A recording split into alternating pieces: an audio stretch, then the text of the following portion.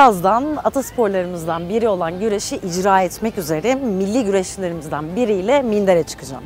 Kırkpınar çayırına çıkmaya da hazır. Ama rakibimi böyle saçlı sakallı, kocaman kaslı bir erkek bir adam olarak düşünmeyin. Rakibim güreşe doğup büyüdüğü yer olan Siirt'te 14 yaşında başladı. Abisi karşı çıktı, o gizli gizli devam etti. O güne kadar Siirt'ten hiç çıkmamıştı ve otobüsle Siirt'ten başka dünyalara giden insanlara hayranlıkla bakıyordu. Güreş sayesinde ilk defa otobüse bindi, ilk defa denizi gördü ve ilk defa başka ülkeleri gördü. Ve en önemlisi Türk kadın güreş tarihinde ülkesine Avrupa şampiyonluğu getirerek tarihe geçti. Biz de bir milli güreşçinin bir günü nasıl geçer diye merak ettik ve sabah kahvaltısını onu yakalayıp Minder'e kadar eşlik ettik.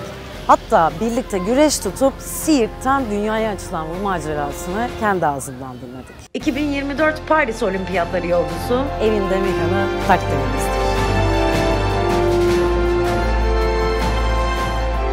Evin, neden güreş? Bu kadar sert bir sporu niye tercih ettin? Aslında benim biraz tesadüfen oldu.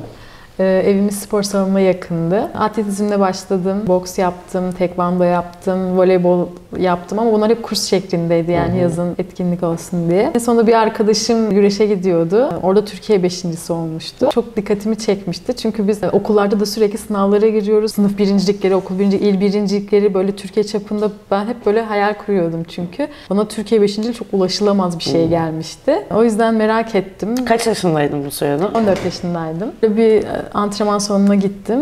Çok heyecanlandım. Antrenörüm de bu sporda yetenekli olduğumu söyledi. Ve ben de böyle devam etmeye başladım. Ailen nasıl baktı bu işe? Yani bir etkinlik olarak görüyorlardı. Hani güreşe gittiğimi bile böyle ciddi bir anlamda haberleri yoktu. Arkadaşlarımla aşağı iniyordum. Sonra beraber antrenman salonuna gidiyorduk. Gizli gizli mi gidiyordun biraz? Yani biraz gizli gizli hatta öğrendikten sonra daha da gizli gizli gitmeye başladım. Karşı mı çıktılar, istemediler mi? Yani aslında anne ve babamdan çok büyük bir tepki almadım. Onlar için çok da önemli değildi. Hani spor yapıyordum. Ama abim çok önceden judo yaptığı için judo ve güreş salonları da aynı binada. İzin vermedi. Kesinlikle gitmem karşı çıkmıştı. İş ciddiye binince artık antrenman çantamı böyle balkondan arkadaşıma atıyordum. O antrenman salonuna gidiyordu. Sonra ben gidiyordum arkasından.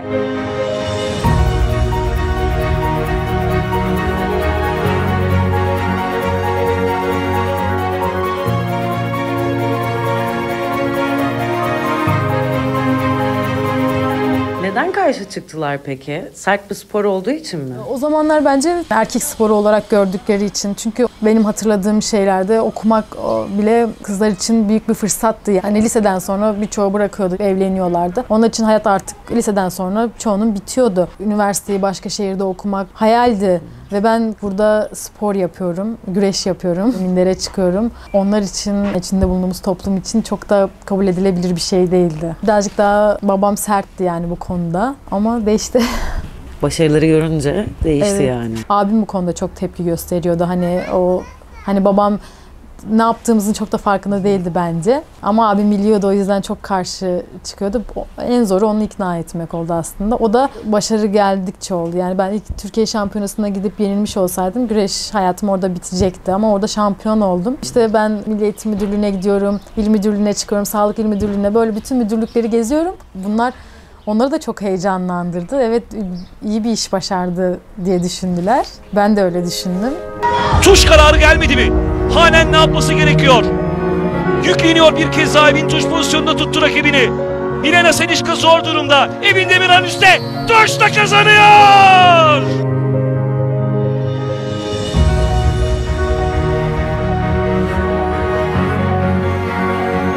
Siirt'ten ilk çıktığında ne hissettin peki? Ben çok merak ediyordum şehir dışında yani Siirt'ten başka bir yerin görmeyi hep hayal ediyordum. Hayal kurduğumda tek şey Siirt'ten böyle otobüse binmekti. Yani böyle otobüse binen insanlara bile böyle hayretle bakıyordum. Bir gün ben de binebilir miyim, buradan çıkabilir miyim diye. Hatta ilk defa Türkiye Şampiyonası için yolculuğa çıktığımızda Yalova'daydı Türkiye Şampiyonası. 24 saat sürmüştü neredeyse. Hiç uyumadım. Ee, Hiç böyle sürekli dışarıda seyrettim çünkü hep bunun hayalini kuruyordum. Yani e, o yolculuğu yani bu anın hiçbirini kaçırmak istemiyordum. Hatta arkadaşlarım uyanıyordu hala mı uyanıksın hala mı gözler evet diyordum yani uyumayacağım yani bütün her şeyi görmek istiyordum. İşte her geçtiğimiz şehirde hocam hangi şehirdeyiz burası neresi? Yalova'ya gidene kadar böyle gözüm açık gittim. Sonra ilk defa denizi gördüm Yalova'da. Ne hissettin görünce Deniz'i? Başım dönmüştü, inanamamıştım. Yani böyle şey çağırıyorlar beni, hadi gideceğiz falan diye böyle denize şeye koşmuştum, böyle sahile koşmuştum, böyle denize bir süre gitmemiştim yani bir de başım dönmüştü. Onu hiç unutmuyorum. Ya güreşçi kulağı diye bir hastalık var. Evet. Sende var mı? Evet. Nasıl, neden oluyor bu? Darbelerden kaynaklanıyor. Bazen kafa darbesi, bazen diz darbesi. Çok sert bir şekilde mindere çarpıyor. Evet. Ondan sonra kulaklar bu şekilde kırılıyor. Kan topluyor kırıldıktan sonra. Bayağı bir şişiyor. O şişen kanı ya da ödemi almamız gerekiyor. Çok ağrılı ve sancılı bir süreç. Oradaki e, sıvı alınmazsa ve korunmazsa kulak e, şiştiği gibi kalıyor. Üzüldün mü bu olduğu zaman? Gerçek pehlivan güreş kulağı kırıldığı zaman oluyor diyorlar bizde. Küçükken çok hevesliydim kulağım kırılsın, pehlivan olayım diye. Şimdi öyle düşünmüyorum. Çok sert bir spor gerçekten. Burnun kırılabilir, kaşın gözün ben patlayabilir. hepsini deneyimledim. Kol, bacak, ayak bileği ya da kas yırtıkları, kulağım kırıldı. Burnumdan çok darbe aldım. Dişlerim kırıldı. Seni böyle işte Instagram'dan baktığım zaman çok cici bici giyinen bir kadın olurken bir anda böyle güreşte işte burnu kırılıyor, dişleri kırılıyor Evet. falan. Böyle. Geçtiğimiz hafta şöyle burnum çatladı. Onun için bile o kadar üzüldüm ki burnumun işte şekli değişecek. Böyle takıntıların oluyor mu? Güreşe ilk başladığımda güreşe çok aşık biriydim ve benim için hiç önemli değil. İşte kulağım kırıldığında mutlu oluyordum. İşte gerçek güreşçi oldum diye. Gerçekten yaş ilerledikten sonra bir kadın olarak e, bunların olması üzücü oluyor. Hatta işte güreşi bıraktıktan sonra estetik olurum, kulağım böyle yaparım diye. Daha çok korumaya başlıyorsun kendini. Bunlar gerçekten şu anki düşüncelerimde çok önemli. Siirt'in Sırrı belgeseline gelmek istiyorum. İnan Temel Kur'an çekiyor. Senin üzerine bir belgesel çekiliyor. Sen orada 17 yaşındasın. Neden senin üzerine bir belgesel çekiliyor? Başka orada sporcular da vardı. Ben 2010 yılında Avrupa şampiyonu oldum ve e, milli takıma röportaj için geldiklerini söylediler. Ben de orada şampiyon olmuş bir sporcu olarak bana da söz hakkı verildi. Mücadele yapan kadın sporcularla ilgili bir belgesel çektiklerini söylediler sonrasında. Ama tamamen ben röportaj yapıyormuşum gibi hissettim. Yani öyle zannediyordum. E, İnan Temel Kur'an'ın eşi Kristin vardı ve çok duygulandı röportajım esnasında ve Siirt'e gelmek istediler. Siirt'e geldikten sonra da tamamen belgeseli benim üzerimden devam ettirmek istediler. Ben de kabul ettim. Gerçekten benim için de çok güzel bir tecrübeydi. Şimdi geriye dönüp yani tekrar izlediğin zaman çünkü küçük bir yaştasın Evet, evet. orada böyle ya of bunu da Evet, nasıl evet. demişim diyor musun? İzledikten hemen sonra demeye başladım. Şimdi izlediğim zaman daha farklı geliyor. Daha kendim o yaşlardaki düşüncelerim olsun, yapmış olduğum her şey benim için çok daha anlamlı şimdi. Ee, Belgeselde iki başrol var. Biri sensin, ikincisi Adem Kesici. Senin antrenörün. Adem. Kesici sana ne ifade ediyor? Adem hocam ben Adem baba diyorum kendisine. Gerçekten dönüp baktığım zaman benim için yapmış olduğu fedakarlıklar benim bu spora devam etmemdeki en büyük etken diyebilirim. Bir baba gerçekten oldu. Çünkü ben Siirt dışında herhangi bir şehre hiç adım atmamıştım. Kalabalık bir ailede büyümüştüm ve tek başıma bir yolculuğa aslında hazır değildim. Bu hep farkındaydı ve e, ilk günden itibaren e, kamplarımda, maçlarımda hep yanımda oldu. Mil takımda olmamasına rağmen mil takım uluslararası turnuvalarımda bile hep yanımdaydı. Artık sadece birbirimizin gözlerine bakarak da artık anlaşıyorduk yani. Ben sadece gözüne bakıp "E, evet bunu yapacaksın, başaracaksın, burada olacaksın diyordu ve benim için çok büyük bir güç kaynağıydı.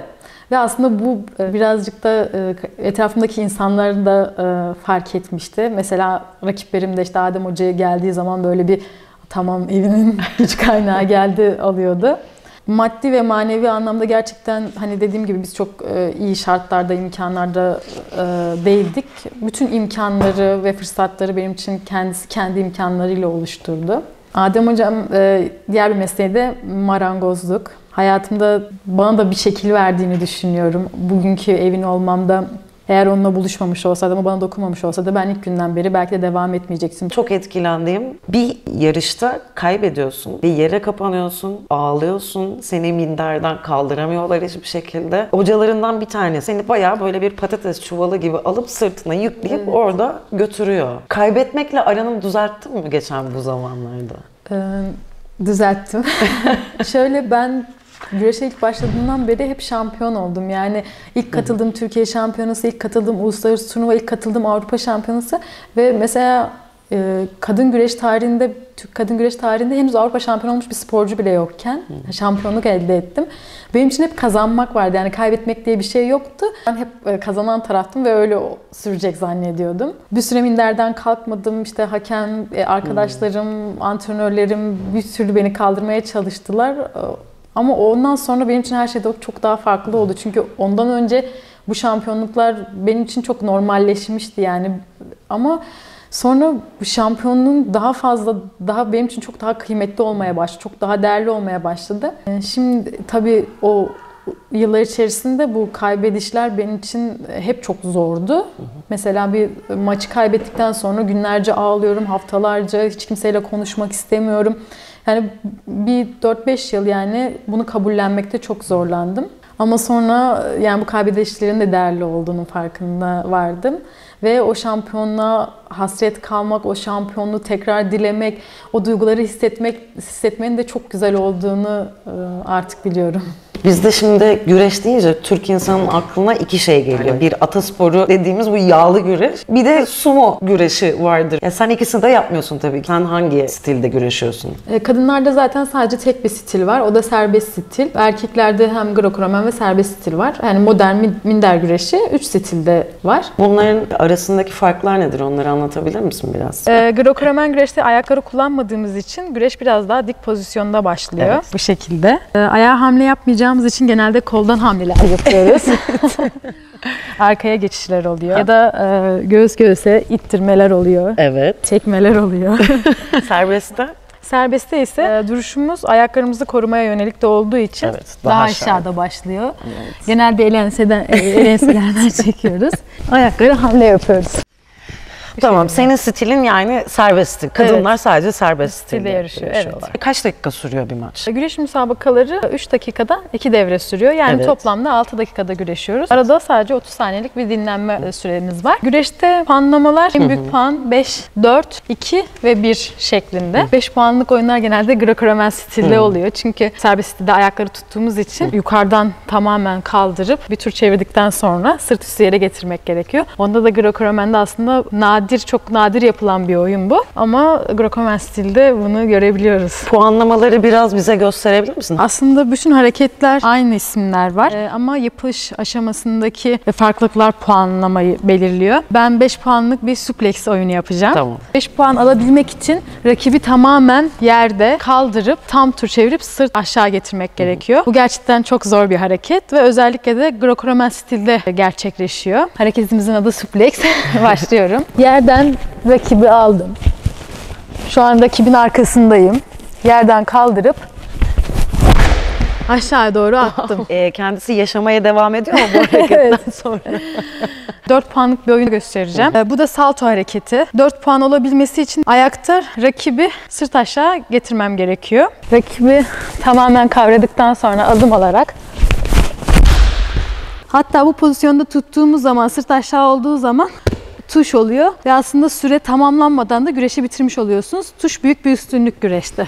Bir de benim sevdiğim 4 puanlık bir oyun var. Tek kol hareketini çok seviyorum. Ee, rakibi e, tek kolundan alıyoruz ve sırtımızda aslında bir çuval varmış gibi arkamızda dizleri çekerek aşağıya indiriyoruz. Bunlar da 4 puanlık hareketler. 2 puanlık hareketler için size buraya ihtiyaç var sanırım. aslında bu hareketlerin aynı yaptığım salto, tek kol, kafa kol bu hareketlerin e, sırt, sırt aşağı değil de yüzüstü geldiği zaman 2 puan veriliyor. Yani aynı hareketleri yaparak 4 puan, 2 puan da alabilirsiniz. Hatta 5 puan da alabilirsiniz. Tamamen bu e, ayakların e, yerde mi, yukarıda mı ve düşerken hangi pozisyonda düştükleri önemli. Ben ama basit şekilde alınan Hazırım. 2 puanları göstereceğim. Serbest stilde dediğim gibi biz böyle bu şekilde eğiliyoruz Evet. ve kollar omuzlarda ya da e- ensede oluyor. Eğer ben omzumda el görürsem şuraya koyarsam, çekip arkaya geçiyorum ve yere yatırınca İki puanı İki almış puan. oluyorsun. evet. Yerde de devam edebiliyoruz aslında iki puanlıkları almaya. Mesela ayak kilidi. Dizüstü. Ayakları bağlıyorum. Bunun çeşitli alma şekilleri var. Evet. Yani bazen yukarıdan herkes çok daha farklı alıyor. Aldıktan sonra çevirme hareketlerinin hepsi iki Bayağı puan. gidiyorsunuz böyle. Evet. Bunu zaten e, 10-0 olduğun zaman müsabaka sona ermiş oluyor. E, genelde e, yere indirdiğimiz sporcuları çırpmaya da ayak kilidiyle sayı tuşuna götürmeye çalışıyoruz. Daha kolay ve çabuk bir sürede bitmiş oluyor güreş.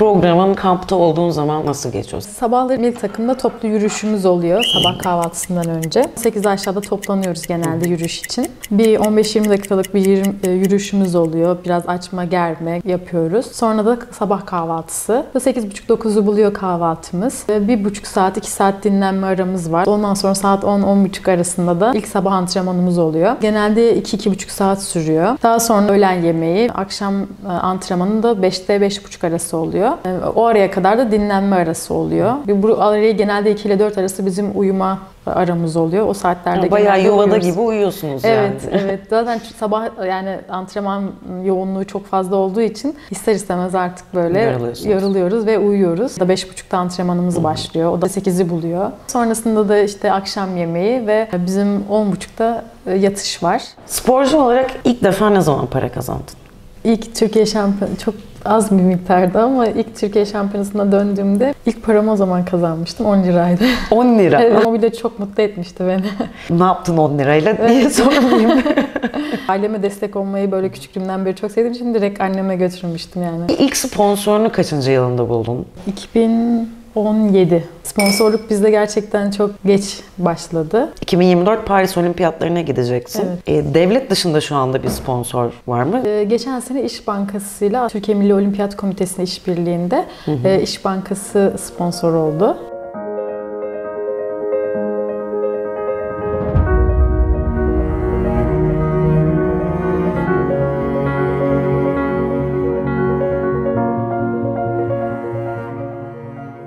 2021 yılında senin gibi güreşçi olan Haydar Yavuz'la evleniyorsun. Evet. Nasıl tanıştınız? Aslında biz e, güreşçi olduğumuz için güreş ortamında tanıştık. Maçlarda e, denk geldik E, ve ortak arkadaşlarımız vardı. Onlar bizi bir araya getirdi. Sonrasında ilerledi ve evlenme kararı aldık. Evlilik teklifi nasıl geldi? Aslında biraz bekliyorduk. Nerede etti? İstanbul'da teknede olmuştu. Teknede. Evet. Köprünün üzerine Evet, yazdır. köprünün üzerine yazdım. Heyecanlandın mı sen? Ee, aslında çok duygulandım o anda çünkü yani hep aileden uzakta büyüdüm ve aile kavramı benim için çok daha kıymetli ve değerli oldu. Şu anda kendi ailemi kuracak e, yaşa geldiğim için o anda daha fazla böyle bir duygusal anlar yaşadım.